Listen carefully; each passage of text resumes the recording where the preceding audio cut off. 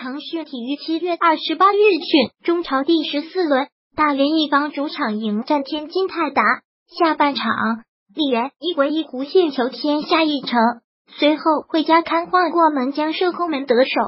埃奇姆彭反越位天彩。九分钟内，泰达连入三球，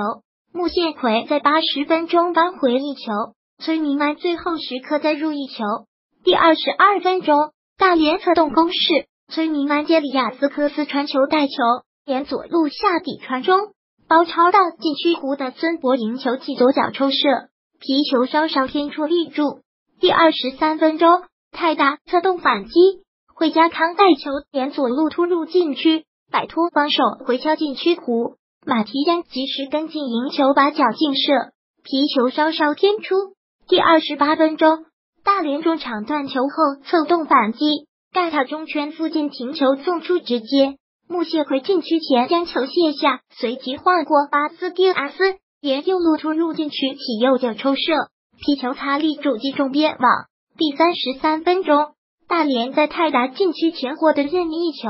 秦升主罚射门击中人墙，皮球弹向门前，穆谢奎、赵宏略与门将杜佳争抢统一落点，处于中间位置的赵宏略被穆谢奎。独家撞翻在地，经过队医处理，赵宏略重新投入比赛。第六十一分钟，泰达策动反击，李元一在前场右路接到队友分球，李元一随即带球晃开防守，起右脚传中，皮球在空中画出一道诡异弧线，飞入网窝。一比零，泰达打破僵局。第六十五分钟，巴斯蒂安斯后场争顶，将球顶到前场，埃奇姆腾跃起争顶一蹭。董岩峰与队友配合失误，惠家康前插断球带球突入禁区，跨过门将推空门得分，泰达取得二比零。第七十分钟，泰达再入一球，埃奇姆彭在前场接队友头球摆渡带球突入禁区，面对门将起左脚单刀推射命中，泰达取得三杠零。第七十九分钟，大连中场策动攻势，盖塔接队友分球直塞禁区。穆谢奎反越围前插沿禁区弧突入禁区，面对门将单刀捅射得分，一到三，大连追回一分。